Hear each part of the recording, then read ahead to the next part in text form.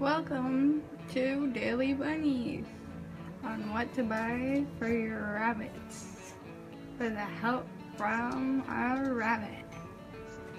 So first off, we're gonna need to buy your rabbit some food. I like to buy my rabbit this stuff with like other stuff because this little crap crap they don't like.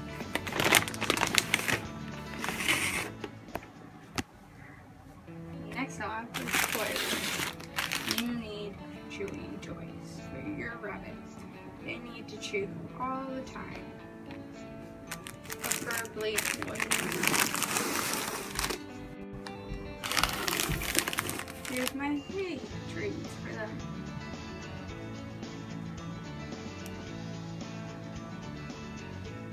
You need hay treats. A hay ball. They like hay balls to get at their hay. Gives them something to do. This one you can stick in their cage at the top of the cage or you can put it in and let them spin it. On to the next. These. I'm going to make another video for these to try them out because these are the first time we are trying. But they look pretty neat. Snack treats. They're third layer with wood in the middle. My bunny's trying to break it out. And vegetables, yeah. Vegetables. They're good because they have a little clip at the top. You know?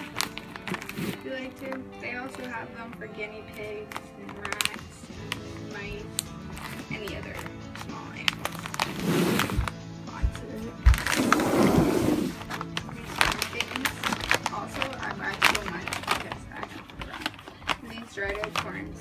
have uh, gum It's like their favorite thing. It's three in a pack, and they come with one cup each.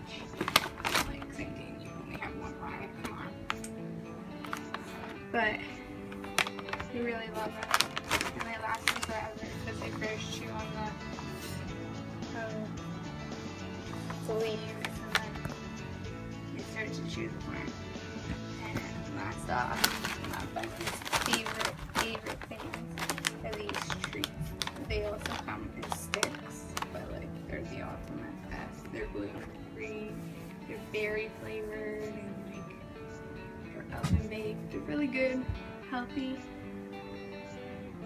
So yeah, my bunny's being bad. She's jumping on things, not even helping. Also, you need a pan, some bedding for a little tent for them to hide out in.